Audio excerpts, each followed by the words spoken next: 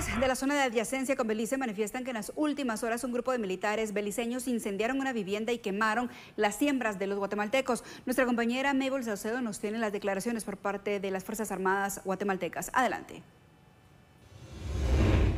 Quedó documentado cómo quedó la vivienda de frágil construcción de don Felipe en Petén, ya que se había mencionado de que soldados de Belice habían llegado a incendiar su vivienda. Eh, estos incidentes por el grado de implicación que tienen, eh, se tratan por la vía diplomática, ¿verdad? Y serán ellos los, encargados, el curso para poder llevar eh, dicha investigación. Claro, en este punto si podemos mencionar si algunas situaciones similares habían sucedido en el área de adyacencia. Sí, anteriormente se tienen datos ahí registrados que ha sucedido, ¿verdad? Y nosotros como ejército, pues continuamos con nuestra labor, efectuando los patrullajes y resguardando a las personas del área. ¿Las acciones que continuarán tomando en cuenta este último incidente, coronel? Sí, serán los, patrullajes, ¿verdad? Eh, efectuar los reconocimientos, que son los que nosotros efectuamos.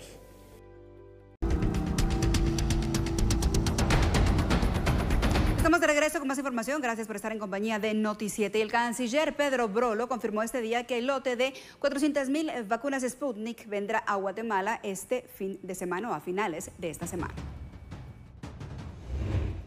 se manifestó la importancia para la aprobación del envío de vacunas Sputnik V a Guatemala que fue negociado por el Ministerio de Salud Pública y Asistencia Social con el Fondo Ruso de Inversión Directa. Manifestó el, Ministerio de Salud Pública rusa que Guatemala siempre puede contar con el apoyo de parte de ellos y que hacen todo lo que esté en sus manos para avanzar con el proceso de entrega de vacunas. Actualmente están desarrollando también la Sputnik Light. Se conversó sobre la posibilidad de incluir en el, en el acuerdo y de renegociar lo que ya se le trasladó al Ministerio de Salud Pública y Asistencia Social e Información eh, derivada de estas reuniones para que ellos puedan iniciar los procesos que correspondan. Como ya están en, en el desarrollo de la Sputnik Light, ellos pueden negociar con el Ministerio de Salud para que se incluya y ya no sea solo la Sputnik V, sino que sea la Sputnik V y la Sputnik Light la que queden incluidas dentro de la negociación que tendría que hacer el Ministerio de Salud Pública con el Fondo Ruso de Inversión Directa. Enfatizamos nuestra preocupación y sobre la urgencia de contar con envíos de lotes mayores de vacunas para responder a la confianza que Guatemala depositó en la vacuna Sputnik V confirmaron el envío de 400.000 vacunas Sputnik V a Guatemala para que estarían saliendo a finales de esta semana según lo que nos manifestaron. Ellos estarían garantizando la llegada de las segundas dosis. No nos han dado un cronograma, pero queda abierto y demostraron la voluntad de que en caso no puedan garantizarnos y darnos la certeza del envío, de las fechas, de las cantidades y de ese cronograma tan necesario, que ellos están dispuestos y abiertos a la renegociación de parte del Ministerio de Salud Pública y el Fondo Ruso de Inversión Directa para poder conocer cuáles son las alternativas de esa renegociación.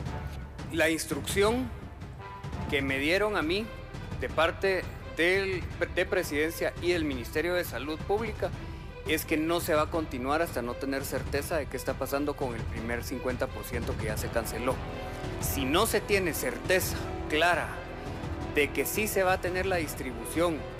Eh, primero, incrementar los tiempos de la distribución y las cantidades, que eso es lo que estamos viendo, que es un primer paso de pasar de 50 mil a 400 mil, es un primer paso, pero la conversación fue que en tanto no se garantice la eh, continuidad y la distribución de las vacunas, no se estaría haciendo un próximo pago porque no tendría ningún sentido para ello. Y más información, la Embajada de los Estados Unidos realizó este día un donativo para la cadena de frío de las vacunas contra el COVID. Es Mabel Saucedo quien ha dado cobertura y a continuación nos informa. Adelante.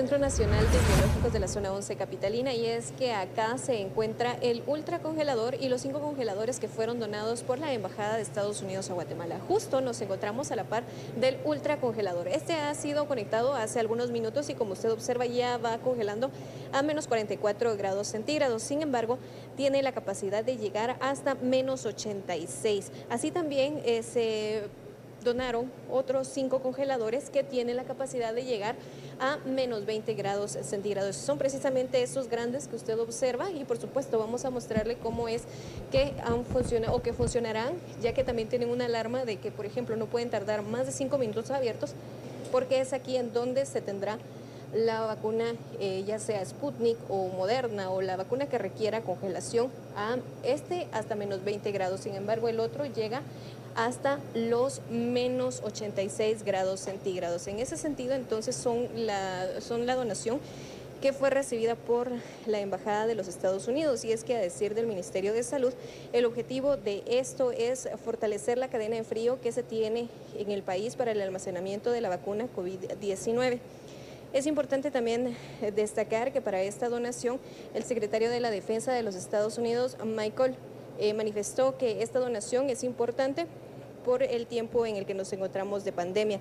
Así también el embajador eh, William Pop indicó de que continúan apoyando en el abordaje de la pandemia. Esto es, por supuesto, información que el Ministerio de Salud comparte y que también en donde mencionaba la ministra Amelia Flores, que desde hace muchos años se ha tenido el apoyo y la asistencia técnica de los Estados Unidos. De los cinco congeladores hasta menos 20 grados centígrados, tres continuarán acá en la capital.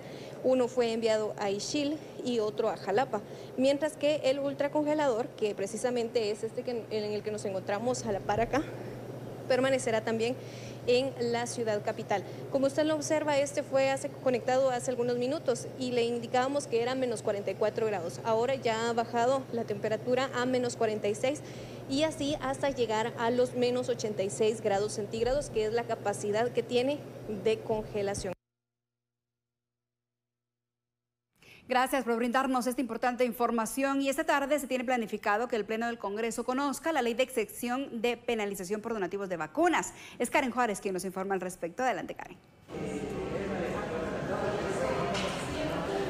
Eli, gracias, buenas tardes. Así es, y faltan algunas horas para que dé inicio la sesión extraordinaria que se ha convocado por parte de la Comisión Permanente del Congreso de la República, donde se estará conociendo esta iniciativa de ley de extensión de responsabilidad y asimismo la creación del mecanismo de compensación que estará a cargo del Ministerio de Salud. Y es que es importante mencionar que esta iniciativa de ley fue enviada por el organismo para que Guatemala cuente con estos mecanismos legales y puedan ingresar al país otra clase de vacunas o otras marcas de vacunas contra el COVID-19, dado al anuncio que se daba por parte del mecanismo COVAX, donde ya nos estará enviando vacunas AstraZeneca ante la demanda internacional que se tiene y es por eso que se abre el campo para que más eh, o, que otras marcas ingresen al país y que Guatemala cuente con estos insumos para vacunar a la población contra el COVID-19.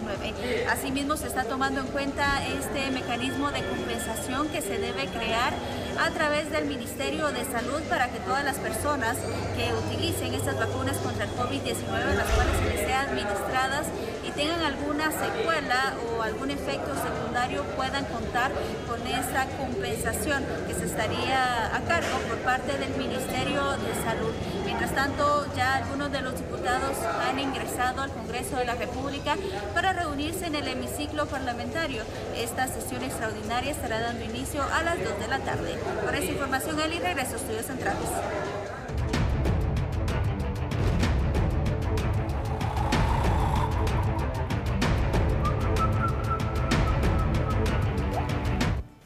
Hablamos acerca de la variante Delta Plus que se expande a nivel internacional y justamente Australia ha tenido que volver a las restricciones debido a que, como tenemos en pantalla las imágenes, la rápida propagación de esta variante ha tenido que poner a las autoridades en restricciones nuevas. Aseguran que la pandemia vuelve a estar en un momento crítico en este rebrote. Sudáfrica también se enfrenta a una nueva ola de la pandemia y es que también han tomado nuevas restricciones que incluyen la prohibición de reuniones, toque de queda y el cierre de las escuelas. Además se sospecha que la propagación es por la variante Delta. Esta es la responsable de la tercera ola que vive este país. La variante Delta Plus se ha extendido hasta Israel que recordemos que había pasado a disfrutar de la vuelta a la normalidad tras una campaña de vacunación exitosa, a volver a imponer el uso obligatorio de mascarilla en los espacios cerrados. Rusia registró este lunes también un récord de muertes por COVID-19 en sospecha de la variante Delta Plus. Hasta el momento se tiene conocimiento que 80 países se encuentran en alerta por registrar casos de esta variante en su población. A pesar de ser una de las variantes más contagiosas y letales, las autoridades encargadas de analizar las vacunas contra el COVID-19 aseguran que las dosis de estas son eficaces contra la variante Delta Plus. Sin embargo, debemos de tomar siempre nuestras medidas. Afortunadamente, Guatemala no cuenta con esta variante hasta el momento. Es momento de hacer una pausa.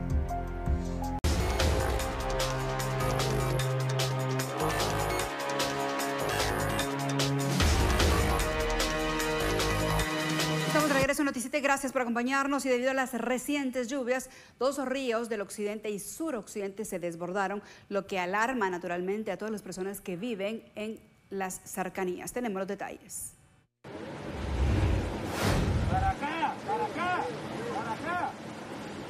Las inclemencias del clima han empezado a causar estragos en distintos puntos de nuestro país.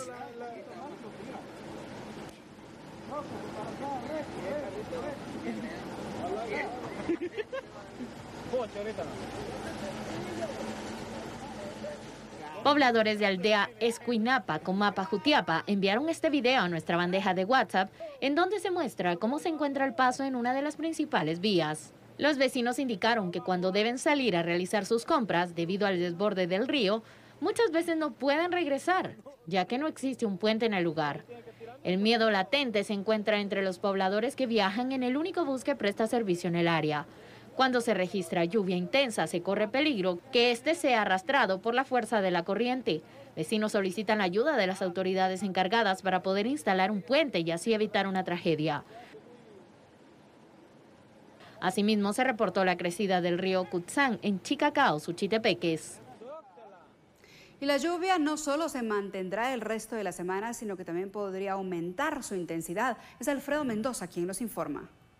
La lluvia no tienden a disminuir en el territorio nacional.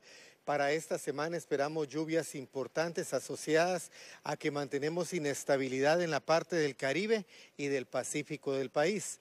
Por el momento no tenemos influencia de ningún sistema tropical, solamente las ondas del este y los sistemas de baja presión que están favoreciendo a que en horas de la tarde y noche se presenten lluvias importantes.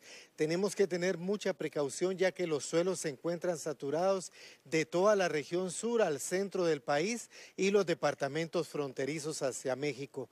No descartamos que se continúen presentando crecidas repentinas de ríos, deslizamientos de tierra, los daños en la red vial del país que se han presentado y los lajares en la cadena volcánica. Las lluvias ahorita durante este mes de mayo y junio han sido menos, pero el problema es que han sido más intensas en menor tiempo, entonces esto es bastante peligroso. Nos preocupa mucho la parte de Mazatenango, donde prácticamente ya nos llovió un 65% más de lo que normalmente llueve y toda la parte de la cadena volcánica, donde hemos tenido lluvias importantes. Nosotros mantenemos comunicación constante con nuestras autoridades y con la Conred. Los mantenemos informados a diario cuando es necesario dos o tres veces al día. Ya esto de la lluvia de estos meses ya lo teníamos anunciado con tiempo. Suplicamos a la población mantener las precauciones eh, necesarias. Hemos visto mucha imprudencia de altas velocidades con asfalto mojado, querer pasar ríos eh, con vehículos, eso está muy peligroso. Tratemos de hacer lo que tenemos que hacer en horas de la mañana y abstenernos de utilizar las carreteras en horas de la tarde o utilizarlas a velocidades eh, que puedan ser todavía controlados los vehículos.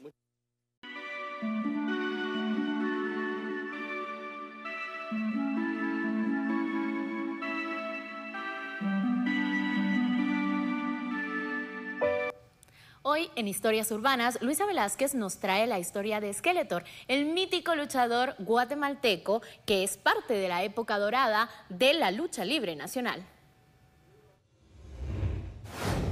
Skeletor es un luchador guatemalteco con más de 35 años de experiencia que ha ganado varios reconocimientos poniendo en alto el nombre de nuestro país. Guadalajara, te ayuda, te ayuda. Y gracias a Dios, pues se me dio la oportunidad de poner alto el nombre de Guatemala. Hace unas semanas este luchador se debatía entre la vida y la muerte al ser diagnosticado positivo a COVID-19. Aunque su recuperación es lenta, él asegura que pronto volverá al ring. Cuando ingresé al hospital me sentí mal. cuando me dijeron, usted va para adentro, para adentro, ahí es donde fue lo duro. Pero como me dicen las enfermeras, gracias a Dios vino a tiempo porque gente así como usted viene se muere. A pesar de las adversidades, Skeletor espera con ansias iniciar con sus entrenamientos y así continuar representando a Guatemala en el deporte de la lucha libre. Con imágenes de Vilar Martínez, reportó para el noticiero de los guatemaltecos Luisa Velázquez.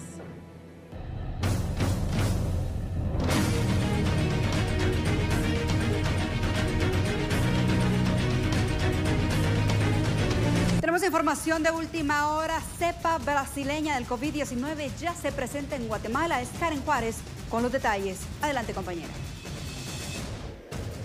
Así es, buenas tardes. Y es que hace algunos momentos hablamos con la ministra de Salud, Amelia Flores, quien confirmó que ya hay presencia de nuevas cepas en, en el país, especialmente de la cepa brasileña, de la cual no amplió detalles porque dijo que esta tarde se estará firmando una nueva alerta epidemiológica al llegar a su despacho. Asimismo, se estará elaborando un comunicado con información amplia acerca de esta nueva cepa que se ha detectado en el país, que como repito, ella ha confirmado que la cepa brasileña ya se encuentra en territorio guatemalteco y es que recordemos que los números de casos positivos, asimismo de fallecimientos por COVID-19, se han elevado en las últimas semanas y de acuerdo al último reporte de casos, 24 eh, horas previo a la actualización, señala que de 2.534 pues eh, casos tamizados registrados, 697 han sido confirmados y 58 casos registrados de fallecimiento según la última actualización.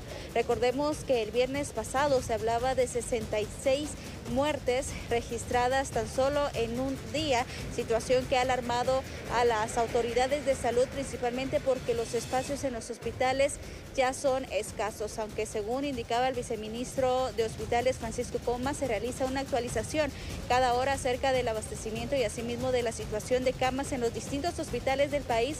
Sin embargo, ellos han reiterado que estos se encuentran saturados y al 100% de su capacidad. Es por eso que se hace llamado por parte de las autoridades a mantener las medidas de prevención ante los eh, casos de COVID-19 principalmente ante la detección de esas nuevas cepas y por supuesto la cepa brasileña que ya se ha confirmado por parte de la ministra de Salud Amelia Flores que se encuentra en el país. Con esa información regreso a Estudios Centrales.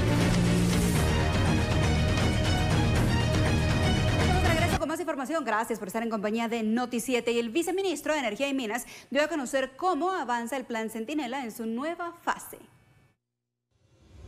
Eh, lamentablemente, durante la pandemia, durante el año 2020 y lo que va del 2021, esta actividad había sido eh, pues, difícil de realizar, se había mantenido únicamente a nivel urbano, pero con el relanzamiento estamos anunciándole a los guatemaltecos que vamos a estar visitando los expendios y las gasolineras en todo el país. La programación para este año es de visitar eh, más de 900 gasolineras, de un total de 1.500 que hay a nivel nacional, y a la fecha llevamos ya eh, pues más de 300 verificadas. Eh, la intención es no parar en lo que resta del año y pues verificar que los, los expendedores estén cumpliendo con todas sus obligaciones. Porque además de la verificación técnica, hacemos una verificación documental eh, en el sentido de verificamos que el expendio cuente con la licencia eh, eh, vigente, que también cuente con el seguro de responsabilidad que debe tener y que también se esté expendiendo las facturas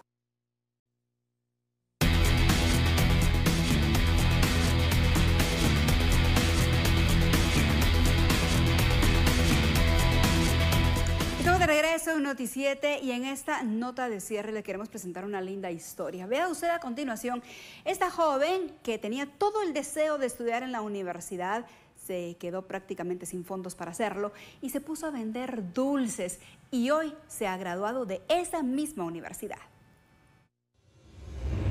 Evelyn Hipólito es una joven que ha luchado por salir adelante a pesar de los obstáculos que se le han presentado a lo largo de los últimos años. La joven veracruzana logró culminar sus estudios en la misma universidad en donde un día llegó a vender dulces. El dinero que ganaba con la venta lo usaba para pagar sus estudios. Afortunadamente, tras cinco años de arduo trabajo, hoy muestra su título de ingeniera química. A través de sus redes sociales dio a conocer cómo vivió el día que recibió su título una de las mayores satisfacciones para ella y su mamá, quien le recibió con un fuerte abrazo al llegar a casa. Hipólito se graduó de la Universidad Veracruzana en México, es emprendedora y constante en lo que desea lograr. Este día nos da una enseñanza clara que cuando uno sueña y trabaja en ello, la recompensa es gratificante. Y con esta linda historia de superación, nosotros nos despedimos de ustedes. Gracias por acompañarnos, que tengan buena tarde. Nos encontramos mañana en punto de la una, por supuesto, por Noticiete.